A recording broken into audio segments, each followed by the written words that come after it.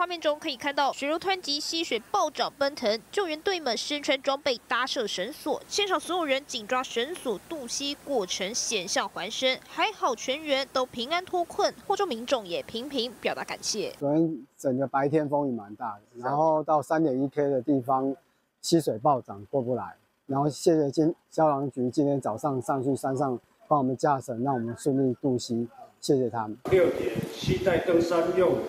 聚集救难队伍整装出发，以十点起顺利走出。